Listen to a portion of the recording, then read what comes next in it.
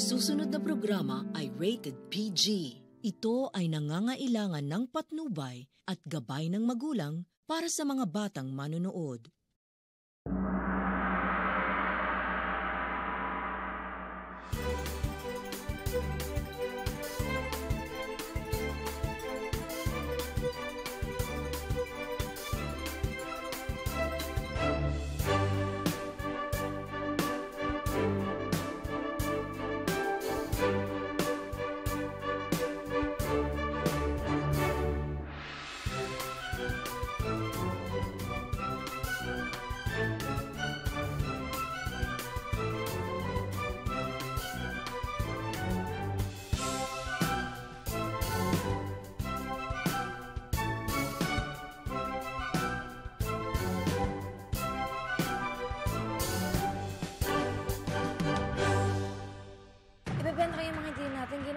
Pero pwede pang mabili.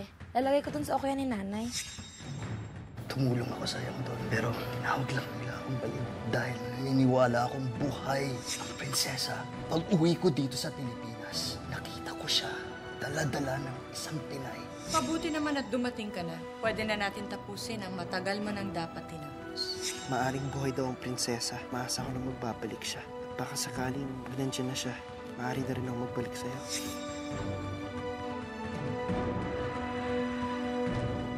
Paano kung buhay pa ang prinsesa? That's nonsense, Jao! Patay ang prinsesa at yan ang alam ni Haring Anan. Eh paano kung may nagsabi sa akin na buhay pa ang prinsesa? May nagsabi sa'yo? Sino ang wala sa katinuan ang magsasabi na buhay ang prinsesa? Sino nagsabi sa'yo? Sabi mo sa akin!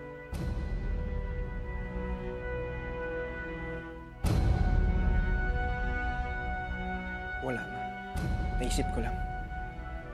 Napanaginipan ko kasi. Naalala ko lang. Kung sino ang magsasabi na buhay ang prinsesa, siguradong malalagot siya. Binabastos niya ang alaala ng prinsesa. And for the peace of mind of Haring Anan, wag na wag mong sasabihin sa kanya yan. Hindi mo alam kung anong pinagdaanan ng yang don dahil sa pagluluksa ni Haring Anan. At ayokong mangyari ulit yun. And this can cost you your kingship. I'm just thinking of you. Ayokong mapahamak ka. Naintindihan mo? Dahil lang sa panaginip, dahil lang sa haka-haka.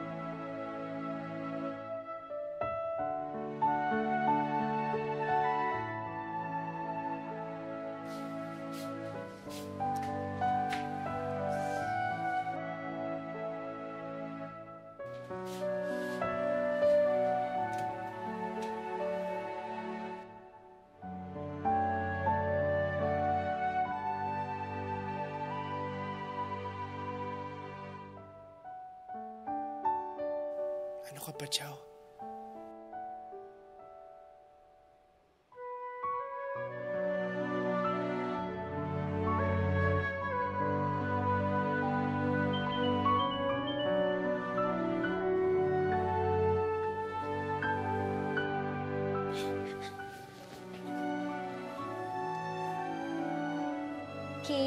Thanks. O, ate, may balita ka na? Nga ako maate-ate. Eh, ikaw to nagpayo sa akin na magpamiss eh. Dapat tulungan mo ako. Ito na, ito na. Tutulungan ka na nga, di ba? Kasi naman yung lagi kang nangungulit. Ano, namimiss na ba ako ni Mikay? Pupunta na ba ako sa bahay niyo? Base sa nakikita ko, mukha naman siyang masaya. Parang wala siyang namimiss. Ano ba naman yan? Buong araw na nga akong di nagpapakita, hindi pa rin ako namimiss. Agad-agad? Mabuti pa, mawala ka muna ng isang linggo. Para siguradong hanapin ka. Gino, hello? Ito na po yung mga nakalap kong records tungkol kay ah, Dr. Santos. Han, hindi na mahalaga to. Ibibigay na sa atin yung research niya eh. Pero Dasyo, baka gusto niyo pa rin pong malaman. Ang mga records pong yan ay galing sa iba't ibang mga ospital at mga doktor. At ayon po sa kanilang mga files, maraming beses na raw pong nagpapagamot itong si Dr. Santos psychologically. Marami siyang iniinom na gamot para sa kanyang hallucinations at consistently, he's been taking up antidepressants. Dasyo, may sakit sa utak si Dr. Santos. Han, teka lang. Sigurado ka ba dito? Mga files na po nagpapatunay, Dasyo.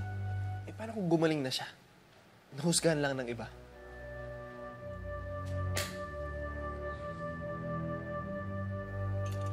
Ka lang. Gusto mo tulungan na kita? Hindi, ate, okay lang. Gusto mo kumain ka na? Okay sige, na. okay lang. Oh, ang tinitingin mo sa labas. Parang buong araw ko di nakita si Gino ah. Pati sa school, di nagpakita eh. Baka busy.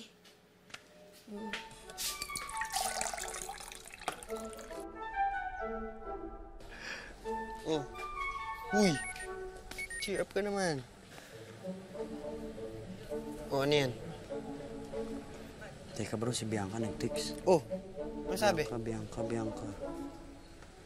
Ano sabi? Ito, kasama ko. Hinahanap ka niya, slight. May chance na namimiss. Oh, slight lang. Bro, may chance At ka rin. Huwag mo akong saktan. Ano, Kiko? Ayaw mo ba talaga umuwi? Ayoko muna, Mikay. Dami na lang kasi nangulingan sa akin. Hindi ganun gandali kalimutan yun. Sigurado ka ba dyan? Basta yun ang gusto ko ngayon. O sige, mukhang di naman kita mapipilit eh. Basta lagi mong tandaan na mahal na mahal ka nila Tita Des, okay? Si Dindy, kamusta? Si Dindy? Oo, andito siya. Gusto mo ba kausapin? At tsaka na lang, ikamusta mo na lang ako sa kanya. O sige, ingat ka dyan ah. Sige, Mikay. Ingat. Ano? Sa lakas ng dating kunto, ayaw mo ko ibalik sa hotdog stand? Ma'am, umamin kayo nung naging tendero ko ng hotdog stand, lumakas ang benta natin. Hindi na nga pwede. Why, oh why, ma'am? Alam mo, Gino, bumalik ka na kaya sa inyo. Pinuntahan na naman kayo ng nan... Ma'am, alam nyo kahit sasantahin nyo pa ako ngayon, hindi ako uuwi sa amin. Kaya mabuti pa ibalik nyo na ako. Ma'am, please, ibalik niyo po ako, please. Please po. Nakaawa po ako sa inyo. Oo na, sige na, oo na. Diba? Ma'am, ganun lang naman. Oh, wala nang bawi yan, ah. Babalik mo na ako. Okay na, mama. Bahala ka, sige na. Dindy, kinakamustahan ni Kiko.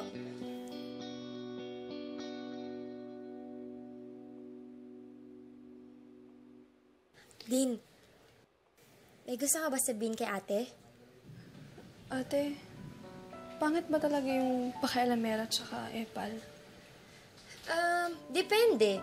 Depende sa sitwasyon at saka depende kung sino yung mga involved. Bakit? Wala naman. Umuwi na daw ba si Kiko? Hindi mo pinilit? Bakit? Eh kasi kilala ko yun si Kiko eh. Kapag pinilit mo yon, lalo yung di papaawat. Basta ngayon kailangan ko na siya makausap para malaman ko kung ano ba talaga yung gusto niya. Matatawan din yan. Kilala mo talaga siya, no? Oo naman, best friend ko yun eh. Pare, kain tol. Kain tol. Five. So, ang dami no? Ang dami chibog, ah. Sino may birthday? Pare, may chick dumating. Dala itong mga pagkain na to. Six mo na naman, Rex. Tapos pag nabusog ka, papaste din mo na. Pare, sabihin na lang natin hindi kami bagay. Hindi pare, sabihin na lang natin, hindi kayo Pantay. pantay. Kayo naman tungkol. Ay, guys! Naghanap pa kami ng soft drinks. Ayun, soft drinks. Soft drinks. Tingnan ako.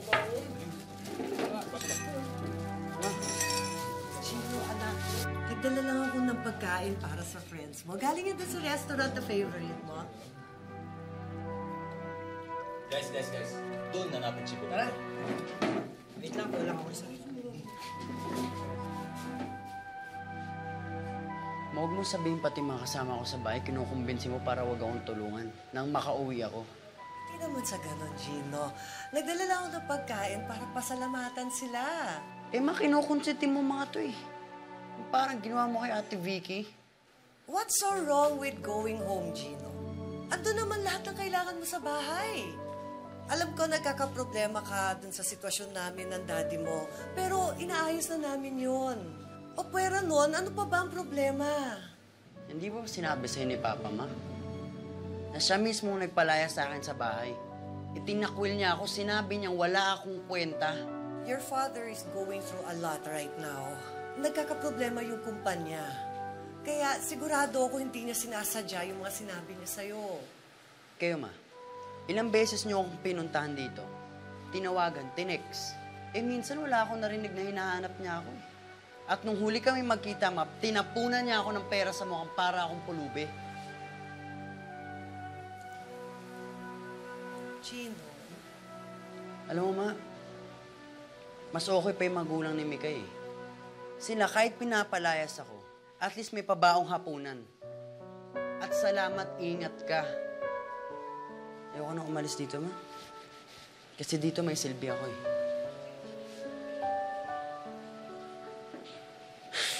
Sige na, Ma, umuwi na nga kayo. Sige po.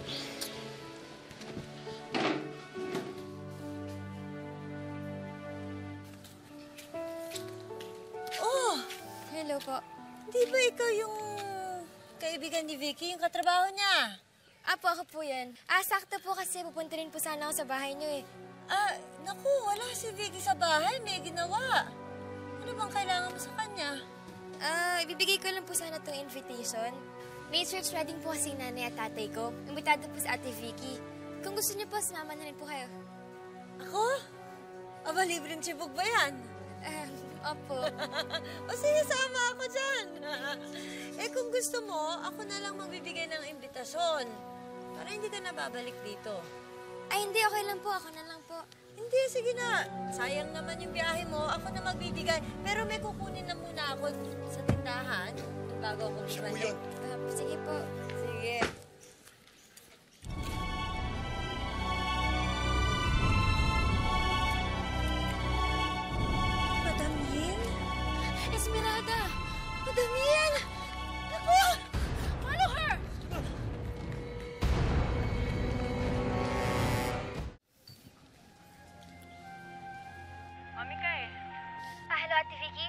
Anito ako ngayon sa inyo. Nag-deliver lang ako ng invitation. Nasa lubong hinanay mo, kaya lang bigla siyang tumakbo eh. May humahabol sa kanya. Ate, may problema ba? Ha? Ah, hayaan mo na, Mikay. Baka isa lang yan doon sa mga pinagkakautangan niya. Pero sige, sige. Pupunta na ako dyan.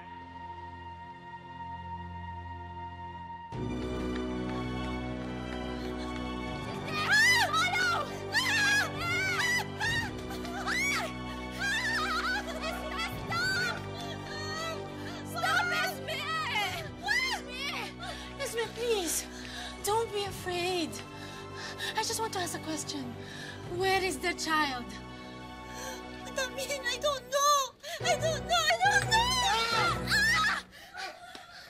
Follow her faster! Oh, Gino! Ay, tita. Ah, ano ba, ano ba? Andan. Wala si Mikay. Nagpadala ng mga imbitasyon. Sino pong... Oh, etong imbitasyon mo, ha? Huwag ka nang bumili ng regalo. Basta mag-attend ka lang. Opo, tita. Hindi ko po ito palalampasin. Punta po ako dito. Ah, tita. Asan nga po pala si Mikay? Ah, mag-isa lang naman siya umalis eh. Ha? Sino po kasama niya, tita? Baka wala po siyang kasa- sasamahan ko na. Susunod Gino, Gino. Gino. Um, malamang hindi nagsabi sa'yo yun. Kasi ayoko na niyang mahasal. Ang dami kasing lalakarin nun eh. At saka alam mo, eto ha, advice ko lang sa'yo. Kaming mga babae, paminsan-minsan, gusto namin mag-isa. Pero hindi naman ibig sabihin na ayaw namin yung tao o ayaw namin yung pagkakataon. Kaming mga babae, talagang gusto namin meron kaming space. Talagang gusto nung namin may oras na magsarili kami. Gino, gets mo ba? Opo, sige po. Ah, ganun po ba? Dito na lang po ako. Maghihintay na lang po sa kanya.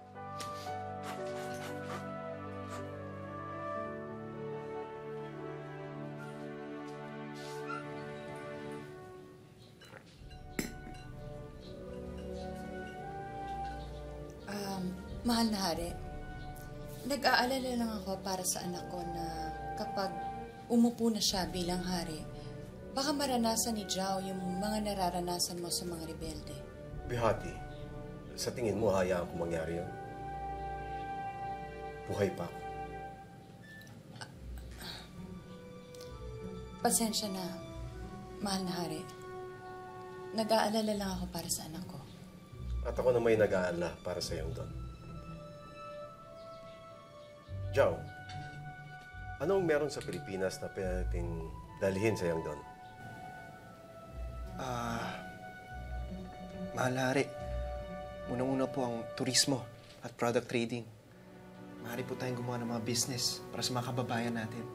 Halimbawa po, ang kapan ng Pilipinas, tsaka ang keso ng Yangda.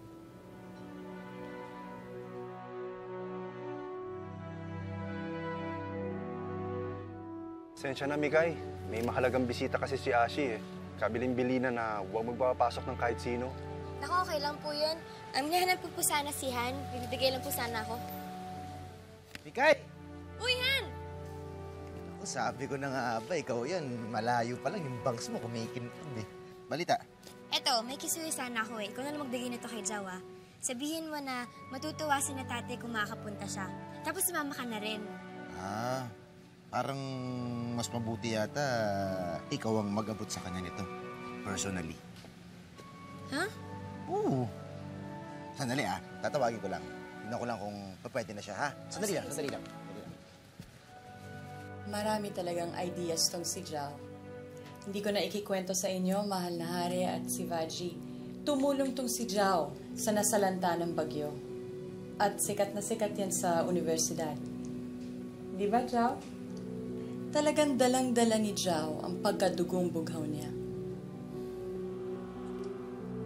Bihati, kailan ka babalik ng iyong doon?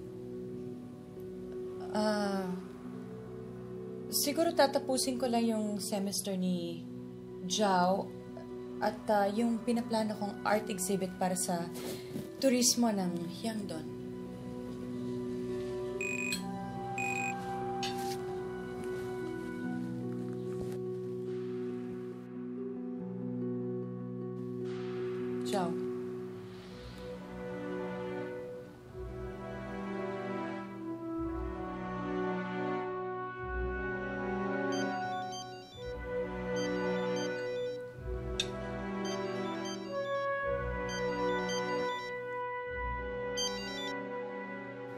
Turn that off.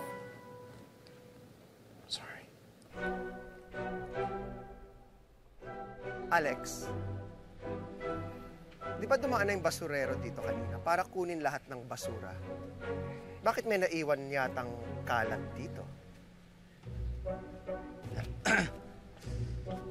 Han, akala ko ba tinanggal na lahat ng mga kalat dito? Bakit may naiwan pang paligid-ligid? Pakitanggal nga lahat ng mga basura dito. Walisin mo. Bilis. Ah, ganun ba? Oo. Sandali ah. Ay. Daming kalat dito. Hmm, Dami. Ano ginagawa mo?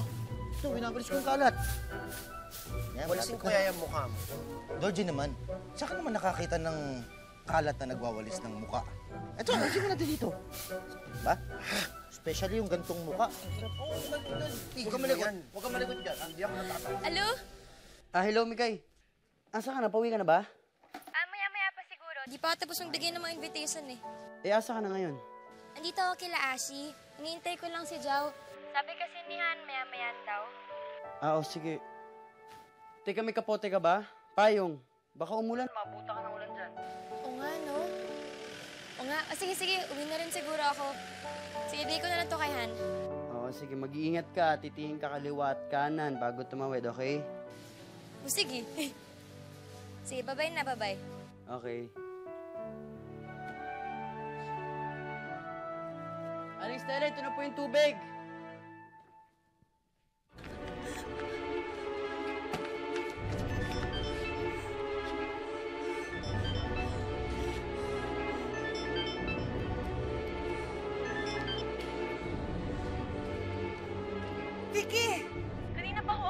Ng tawag. Ano na ko bang nangyayari dyan?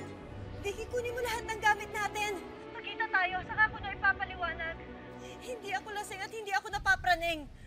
Nakita at nakausap ko ang, ang, ang amo ko dun sa yang doon. Hinahanap niya sa akin si baby. Nagad ako dahil nawala natin si baby.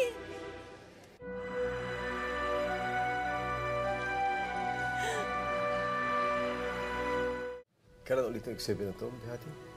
Siguro mga dalawang linggo pa. Ah, Haringanad. Shivaji. Ma, may be excused. I have to use the toilet. Salamat po. Jow, may daan dito sa Lanay, mas malapit.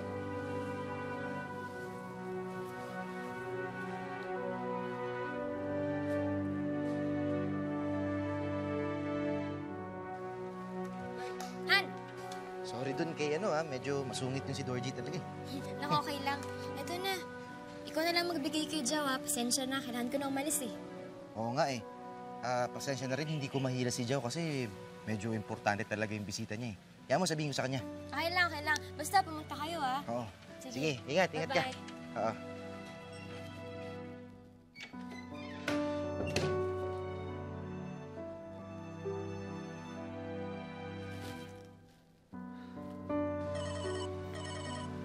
Tasyo? Hello, Han. Umalis na kaya si Mikay? Ah, ah, Ha? Palagay mo, kamusta na siya? Okay naman ako, Jow. Mikay? Ah, sige na. May importanteng meeting kay ata dyan, eh. Basta binigay ko na lang kay Han yung invitation sa kasal nila tatay. Ito naman kasing siya, inabot sa akin agad yung phone. Ah, sige na. Bye-bye. Okay. Okay. Ah, Mikay. Oh,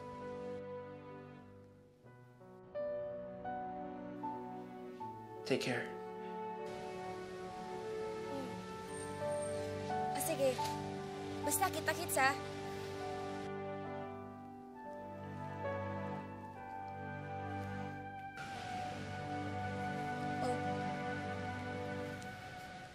Sige na. Ah, Mikay! Yun o. Oh? Kinikilig. Sige na.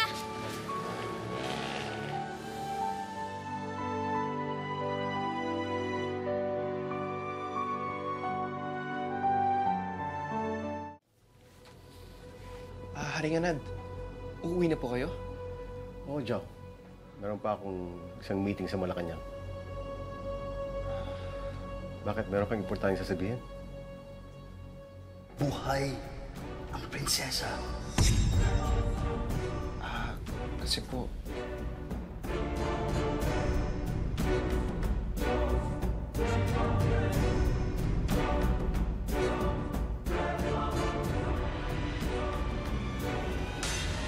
Aren't you that Filipina tourist in Yangdon? Yes, king ako po yan. Marami po kayong pwede mapuntahan dito sa Pilipinas. I remembered someone used to say, madadali niya ako sa Tagaytay. Ako'y nagpapasalamat. Pinaulakan niyo ko dito. Nakakatuwang makita ang iyong pamilya. Ang aking pamilya ho ang aking kaharian. Hindi kayo dapat maghalubilo sa mga taong katulad nila. Nagsasabihan ba ako? Eh, hindi ko alam kung bakit Isabel. Pero napakagahang ng loob ko kay Mikay. Patawarin niyo po ako dahil naglihim po ko sa inyo ng isang impormasyon. Bakit hindi pa ako diretso? May nakapagsabi ho sa akin, buhay po ang prinsesa.